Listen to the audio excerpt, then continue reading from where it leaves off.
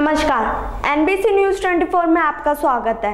मैं ज्योति तंवर आपके साथ। आइए नज़र डालते इस वक्त की खास खबरों पर।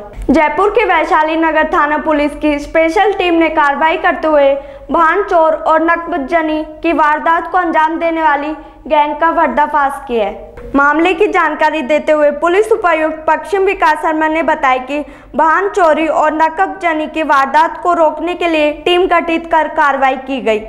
जहाँ पुलिस ने शातिर वाहन चोर विनोद लांबा, मनीष सोलंकी और विक्की को रेलवे लाइन के पास से गिरफ़्तार किया।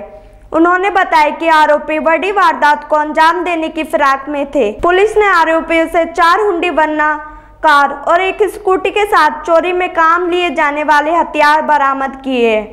फ़िलहाल पुलिस मामले की जाँच कर रही है।